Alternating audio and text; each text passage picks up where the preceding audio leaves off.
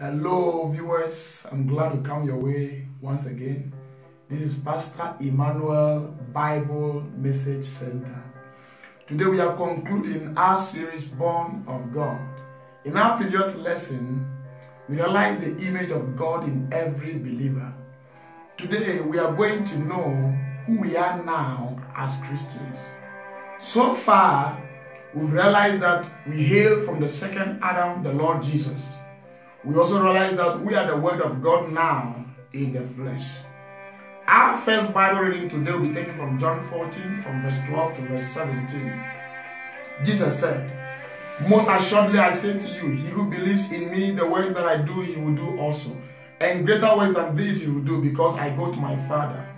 And whatever you ask in my name, I will do, that the Father may be glorified in the Son. You ask anything in my name, I will do it. If you love me, keep my commandment. And I'll pray the Father, and he will give you another helper, that he may abide with you forever. The Spirit of truth, whom the world cannot receive, because it neither sees him nor knows him. But you know him, for he dwells with you and will be in you.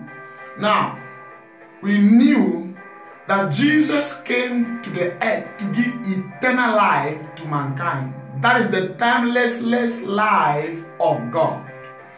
If that is true, that's why he is saying, Whoever believes in him, the works he did, the same thing will also do. Because it's the exact life of God that was in him that he brought to mankind. Hallelujah. Then he says, Whatever we ask the Father in his name, he will do it if we keep his commandment. Now, one thing we have to catch from this particular verse, it says, I will pray to the Father, and he will give you another helper that he may abide with you forever. We knew that this helper is the Holy Spirit. And in Luke chapter 1, the Bible says Mary was found with a child of the Holy Ghost. That means the Holy Spirit was the father of Jesus.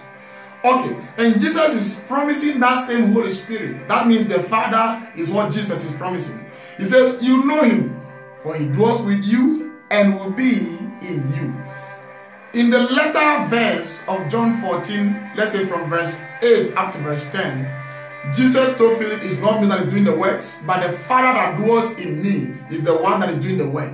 Now, Jesus is promising this Father is coming to be in us also. That means we'll be doing exactly what Jesus did when he was on the planet Earth. Hallelujah. That's a very, very powerful news.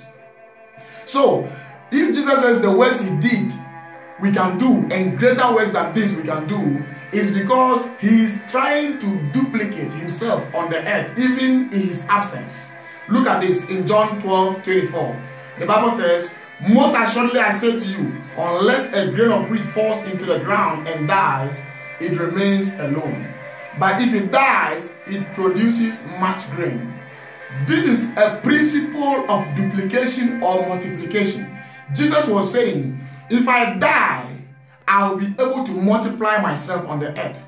But if I refuse to go, I will be alone. So after Jesus died and resurrected, we are the exact duplicate of the Lord Jesus. So if Jesus is no more on the earth, he can still be known through we believers.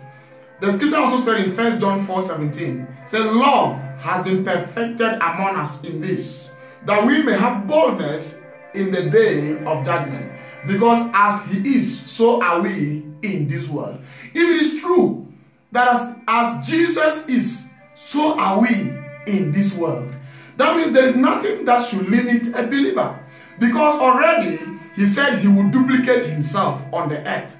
So exactly what he said is what John the Apostle repeated in 1 John 4 17. That as he is, so are we in this world. The world has not yet seen what is going to happen. I know what I'm talking about. I've seen the reality of this word, and I believe as we receive the word as it is, it will make a difference in the life of every believer. God bless you so much for giving us your time. In our next series, we'll be dealing with faith. So keep following us on Facebook and YouTube to receive more live.